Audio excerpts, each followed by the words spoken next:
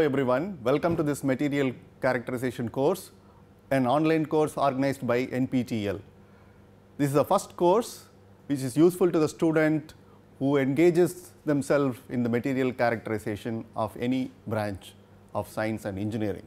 And this course contains about 40 hours of lectures in the form of videos and laboratory demonstrations. In this course, we will take you through all the basic principles of X-ray diffractions, optical microscopy, scanning electron microscopy and transmission electron microscopy. We also take you through laboratory demonstrations.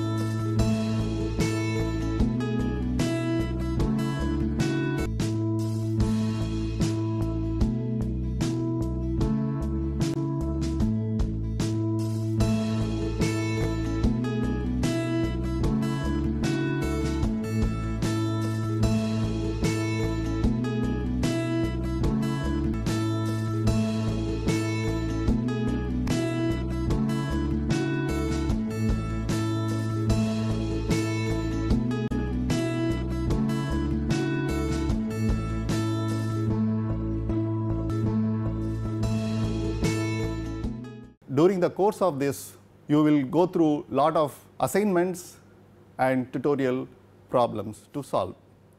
At the end, uh, 3 hours of semester examinations and then you will be given a appropriate grading. Thank you.